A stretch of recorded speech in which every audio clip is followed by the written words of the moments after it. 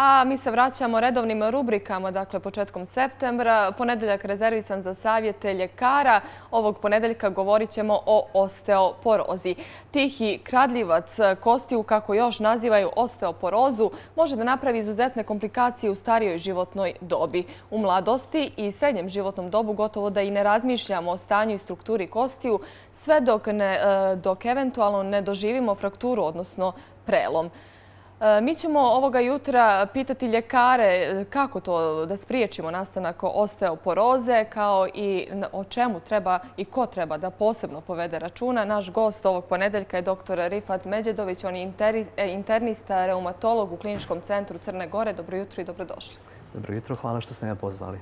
020-404-636 je naš broj telefona ukoliko želite da se uključite u program i postavite pitanje e, našem gostu. To možete uraditi i putem e, Facebooka, dakle stranica Boje jutra, i putem Instagrama boje.jutra.tv.vijesti, ali i putem naše mail adrese boje.jutra.gmail.com. Samo budite brzi da bismo uspjeli da odgovorimo dok gostovanje traje. E, doktore, šta je to osteoporozi i kako se ona manifestuje? Prije svega, meni je jako drago što sam dobio priliku da pričam o jednom izuzetno važnom zdravstvenom problemu. To je inače problem koji poprilično sve više dobija nešto što mi u medicini volimo da kažemo epidemijske, odnosno pandemijske razmjere. Osteoporoza je e, jedno stanje, odnosno bolest koja podrazumijeva smanjenje kvaliteta kostiju ili što mi volimo da kažemo smanjenje čvrstine kostiju.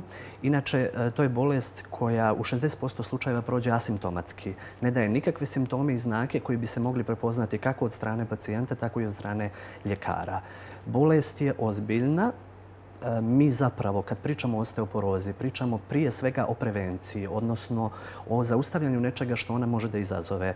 Najozbiljnije komplikacije ove bolesti su zapravo prelomi, vi ste već sami pomenuli. Mhm. Kako ona nastaje? Kako uopšte dolazi do toga?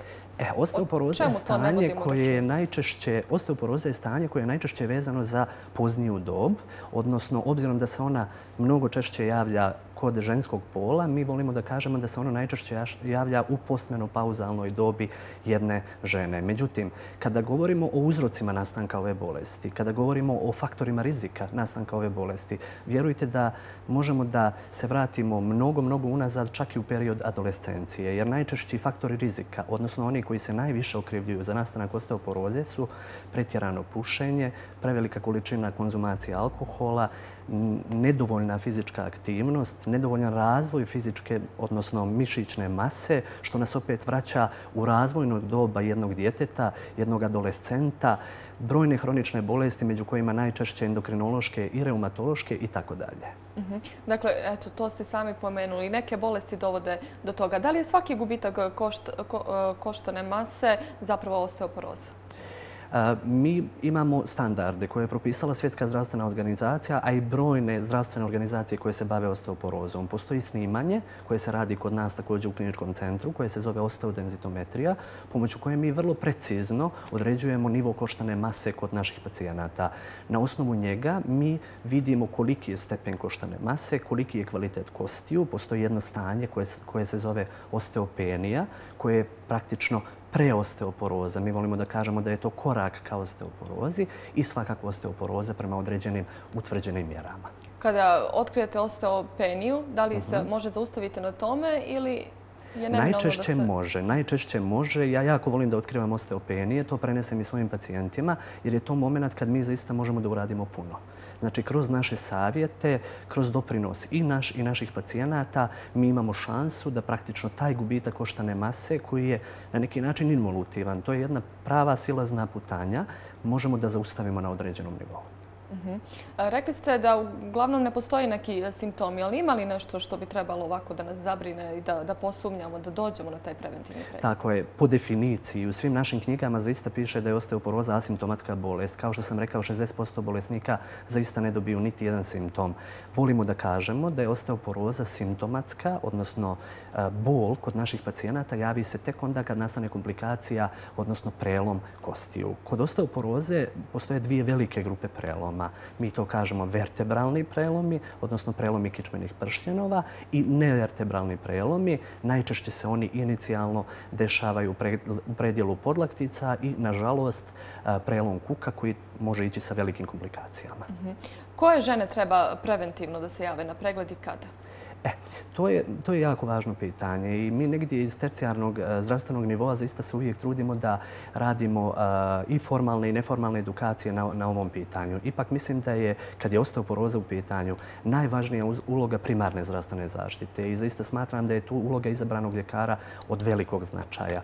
E, naši izabrani ljekari jako lijepo znaju koji su to faktori rizika kod kojih može da dođe do osteoporoze i ukoliko jedna osoba, bilo da je to žena ili muškarac, ima određenu grupu faktora rizika za razvoj osteoporoze, to su ljudi koji trebaju biti upućeni na snimanje.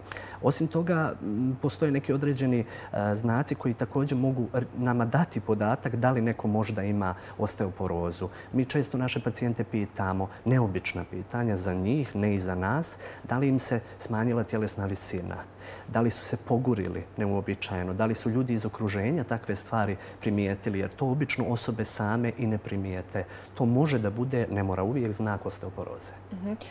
Da li nasljedstvo igra neku ulogu? Svakako. Genetika je od velikog značaja, pogotovo kad je ženski pol u pitanju. Postoji jedno pitanje koje mi stalno pitamo naše pacijentkinje. Kaže da li je neko po ženskoj liniji imao prelom kuka. Ukoliko neko jeste, čini se da je to dobra genetska predispozicija za razvoj osteoporoze. A šta je sa muškarcima? Koliko je kod njih to često? Jedna od tri žene imaju osteoporozu, a jedan od pet ili šest muškaraca ima osteoporozu. Mi stalno pričamo o osteoporozi žena, moram reći nepravedno, jer se mi zaista bavimo i osteoporozom muškaraca. E sada, mi jesmo u nekoj svakodnevnoj našoj reumatološkoj praksi zatrpani osteoporozama žena, ali nije istina da je nema kod muškaraca i možda i tu nešto treba uraditi u smislu njihovog otkrivanja. Mhm. Kako se može spriječiti? Šta mi možemo u mlađem dobu raditi da očustnemo kosti da ne bi došlo do osteoporoze? Dozirana, ispravna aerobna fizička aktivnost još u dječjem uzrastu, ispravan razvoj tjelesne mase, ispravan razvoj mišićne mase pruža jako lijepu potporu našim kostima. Kosti su inače i kad su kosti i kad su zglobovi u pitanju zaštićeni što jačom i što boljom mišićnom masom. Osim toga, ispravna raznovrsna ishrana, jedan bogat unos kalcijuma i vitamina D u naš organizam, sunčanje koje je poznato kao najprirodniji i najbolji izbor vitamina D u našem organizmu i svakako kada pričamo o prevenciji, liječenje osnovnih bolesti, pomenuo sam da postoje neke određene hronične bolesti koji su faktor rizika za osteoporozu i svakako izbjegavanje loših navika u smislu prekida pušenja i prekida konzumacije alkohola. Koje namirnice da uzimamo? Pa ovako, idemo znači one koje su najbogatije vitaminom D, riba, riblji proizvodi, maslinovo ulje, zeleno povrće i tako dalje, ali opet kažem sunčanje zaista i dozirana fizička aktivnost najveći izvor našeg vitamina D, a kad je kalcijum u pitanju, svima dobro poznato, mlijeko i mliječni proizvodi. 020404636 je naš broj telefona. Vidite i u uglu ekranu ukoliko želite da e, se uključite u program i postavite pitanje doktoru. E, pitala je naša gledateljka putem Instagrama da li osteoporoza boli? Mislim da sam već pomenuo, osteoporoza po definiciji ne boli sve do momenta dok ne dođe do njene komplikacije, odnosno preloma, mada postoje, neću mnogo širiti priču, zbog skraćenog vremena, neke mikrofrakture unutar kičmenih pršljenova ili unutar kostiju koje nekada mogu da daju blage bolne manifestacije. Ali u suštini bol e, nije indikacija za snimanje osteodensitometrije. E, mi vrlo često imamo da kažem, šansu da se sa time susrijećemo, da brojni eh, ljekari upućuju pacijente na snimanje osteodenzitometrije zbog bolnog sindroma. Međutim, znate kako ja na to gledam? Meni je draže da ljudi dođu i da se snime, pa i nek nemaju osteoporozu, nego da oni preskoče, a da imaju osteoporozu. Eh, još jedan gledateljka je pitala da li manjak vitamina D može dovesti do osteoporoze i da li je dovoljno piti taj vitamin. Ona je napisala Vigantol kapi ili ne? Tako je Vigantol Kapi. E, da sad ovo ne bi bila reklama, to je e, pandam e, prirodnom vitaminu D, odnosno holekalciferolu. To je preparat koji mi jako volimo da dajemo, jer je praktično gotovo identičan onom koji se stvara kod nas u koži. Svakako da je jako potrebno da se vitamin D nadoknađuje. Inače, ja ću samo malko skrenuti sa priče i reći da sve što više radim, sve više se srijećem sa time da ogroman broj ljudi u Crnoj Gori ima manjak vitamina D hajde vezano za sjeverne i kontinentalne krajeve, ali ono što je meni bilo za prepašćenje, ljudi sa primorja također imaju jako nizak nivo vitamina D. I to je nešto što treba da provjere i na kraju krajeva da djelujemo preventivno. Ne izlazimo s kuće već. Da, da, manjak fizičke aktivnosti apsolutno, e, manjak izlaska na sunce svakako i ima tu još faktora. Šta podrazumijeva liječenje i kakav je procjenat uspješnosti? Ovako, znači, ja ću praktično izgovoriti jednu rečenicu koju svakodnevno izgovaram u svojoj ambulanti, a to je da je zaista uloga dvostruka. Mi ljekari koji se bavimo osteoporozom dajemo svoj doprinos, a pacijent također daje svoj veliki doprinos koji je podjednako važan kao i ovaj koji mi dajemo. Bazična medicina, reumatologija i savremene smjernice podrazumijevaju davanje ljekova za liječenje osteoporoze koji se zovu antiresorptivni ljekovi. To su ljekovi koji pokušavaju da smanje razgradnju kostiju, naših kostiju. Postoje također i anabolički ljekovi koji pokušavaju da izgrade naše kosti, s tim što svaki pacijent ima svoj lijek i izbor tretmana je zaista potpuno individualan. Osim davanja ljekova kojima pokušavamo da smanjimo razgradnju kostiju, mi svakako moramo adekvatno nadoknaditi kalcijum i vitamin D za tog pacijenta. Posebno kad su osteoporoze u pitanju, skrenuo bih pažnju na to da bez obzira što naši pacijenti vrlo često urade nivo kalcijuma u serumu, nivo vitamina D u serumu, često dobiju neke vrijednosti koje su blizu normale ili čak u granicama normale i pribjegavaju isključenju tih preparata u strahu da se ne predoziraju. Ja ću samo skrenuti da pažnju na to da ljudi koji imaju osteoporozu, njima je potrebna malko viša koncentracija svih tih agenasa u našem organizmu da bi ljekovi koje dajemo praktično njih iskoristili. Uloga pacijenta je podjednako važna. Znači, to što ja propišem u mojoj ambulanti, to što dam ispravne savjete koji će djelovati preventivno u smislu ne pretjerivati sa velikom fizičkom aktivnošću, paziti se naglih pokreta, ne podizati teret, pogotovo ne iz savijenog položaja, pad je nešto što bi bilo najgore i zaista najopasnije za nekog koji ima osteoporozu, savršeno regulisani vid, da bi, pa, da bi osoba praktično se čuvala pada. Tamo gdje živi, mi volimo da kažemo da nema obuće, nema sitnih predmeta, nema igračaka, sve ono što bi moglo da izazove da se pacijent, ne daj Bože, podvrze i dovede do pada, to je sve nešto što je važan dio cijele ove priče. Pomenuli smo već da upražnjava doziranu fizičku aktivnost, da ukoliko je moguće izlaže se suncu i koristi ishranu bogatu kalcijom i vitaminom D. Neko nas je pozvao pa da ne čeka naše gledateljke ili gledalac. Dobro jutro. Dobro jutro. Slušamo vas, izvolite. Da vas i doktora i da postoji doktor jedno pitanje. Izvolite. Recite, slobodno.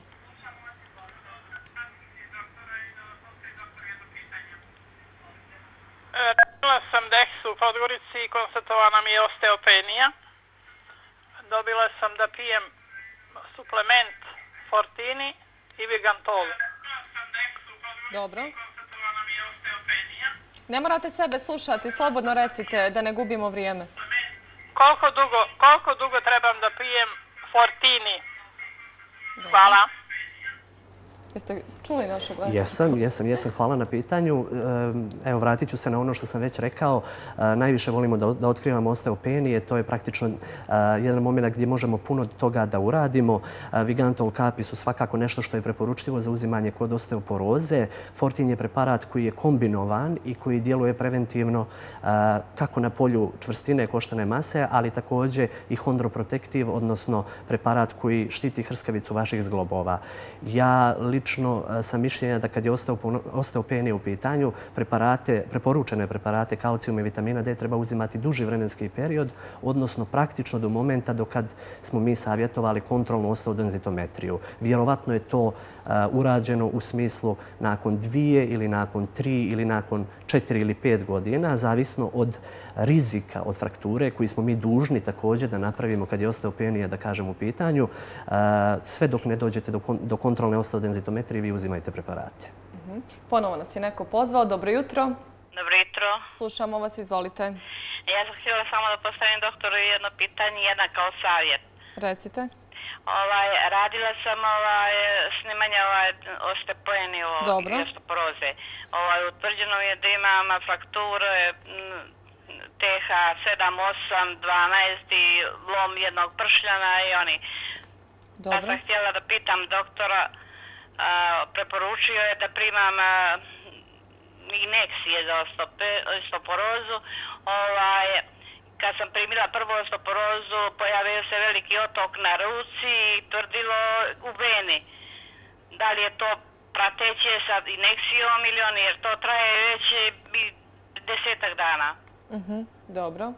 Stavljala sam obloge i hepatropin mast i malo je to ublaženo vraćene onaj poželjela bi doktoru sve najbolje i željela bih da ima više takvih doktora kao što je on i pacijenti bi bili mnogo zadovoljniji.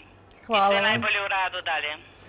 Hvala, najljepše hvala na komplimentima, također i na pitanju. Kad je Intravenski ibandronat, to je lijek koje mi pribjegavamo kod ozbiljnijih osteoporoza, a obzirom da gospođa ima frakture nekoliko pršljenova, odnosno prelem nekoliko pršljena, to jeste jedno stanje koje praktično predstavlja jednu ozbiljnu osteoporozu i veliki rizik za nove prelome. Vjerovatno sam zbog toga se i odlučio za intravenske injekcije ibandronata. Ovo što ona meni negdje opisuje, razmišljamo dvije stvari. Ili je to lokalna alergijska reakcija na lijek, pa moramo vidjeti da li je zaista to i prosto negdje na kontrolnom pregledu trebamo detaljno ispitati da li se o tome radi. Jer ako bi bila lokalna alergijska reakcija na lijek, onda u suštini mi taj lijek ne bismo smjeli da dajemo dalje, već bi morali da praktično promijenimo lijek. A druga stvar o kojoj razmišljam da je neka lokalna reakcija na samu proceduru intravenskog davanja lijeka, pa da eventualno se možda desio neki lokalni ili celulitis ili e, tromboflebitis ili stanje upale na mjestu davanja injekcije. Ja se nadam da će biti ovo drugo i onda to ne bi dovelo do nas da moramo da mijenjamo lijek. Traje desetak dana, kaže gospodin. Da, traje desetak dana. Sad, zavisno od tretmana, vidim da je samo lokalno tretirano. Možda treba razmisliti dati neku antibiotsku mast, možda eventualno neku, neki antibiotik da se ispije. Baš onako jako mi je teško dok ja lično to ne bih vidio da dam znači, da ispravan savjet. Apsolutno, na kontrolni pregled svakako. Ponovno nas je neko pozvao. Dobro jutro. Dobro jutro, Saška je na vezi. Prvenstveno pozdrav za ovaj, televiziju vijesti. Recite, Halo, slušamo vas. Jutro. Slušamo vas, recite. Pozdrav za televiziju vijesti, pozdrav za doktora reumatologa. Već sam bila jednom njegov ovaj, pacijent na kontrolu.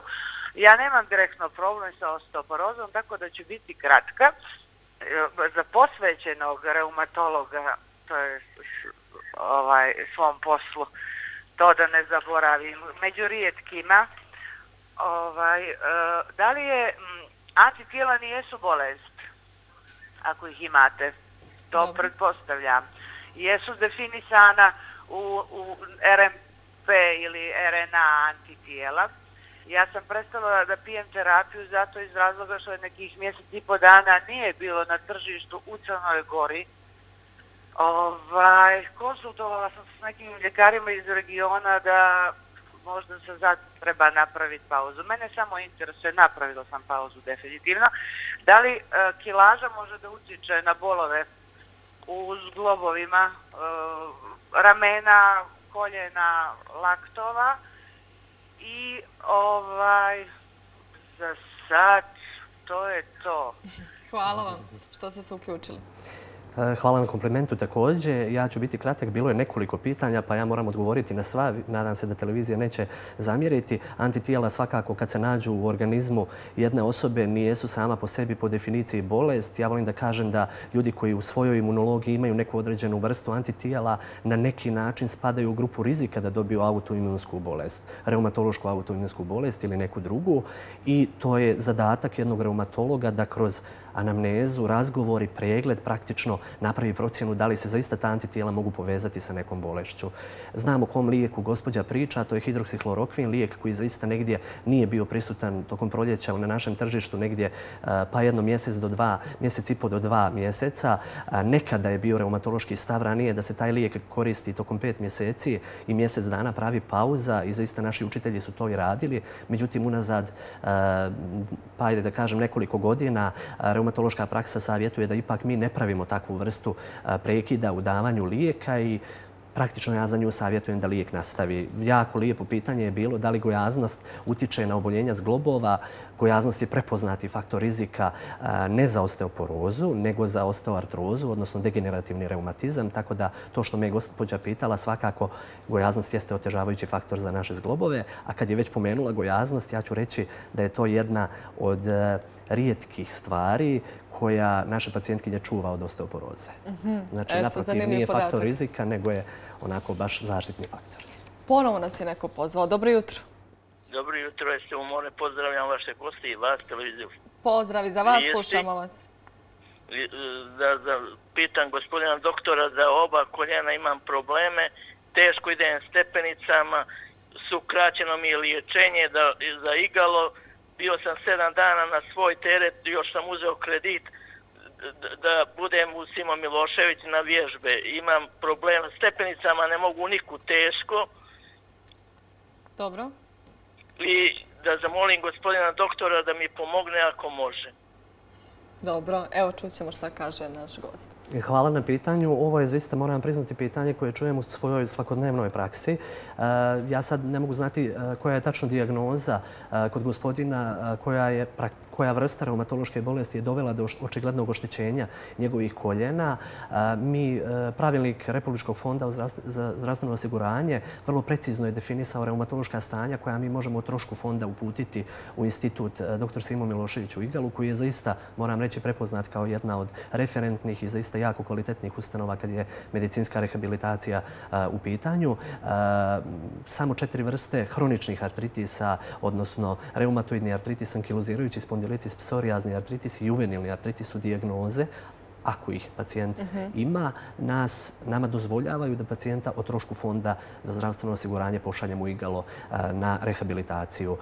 Postoji puno još reumatoloških bolesti, odnosno stanja, pa pretpostavljam obzirom na koji način se gospodin žali da je njemu rehabilitacija i neophodna i jako važna, koja ljekarski gledano i ljudski zaista zahtijeva kvalitetnu rehabilitaciju u rehabilitacijonim centrima, ali mi to, nažalost, po pravilniku fonda nijesmo u mogućnosti da uputimo. Tako da ja savjetujem da na narednom kontrolnom pregledu detaljno se pogleda dokumentacija, vidi se da li zaista pacijent možda ima jednu od ove četiri dijagnoze i da se onda uputi zaista o trošku fonda u igalo. Ukoliko nema, mislim da to neće biti moguće. Mhm. Isteklo nam je vrijeme, doktore. Hvala mnogo što ste došli, što ste vi izdvojili vrijeme za našu emisiju. Hvala, bilo mi je ugodno.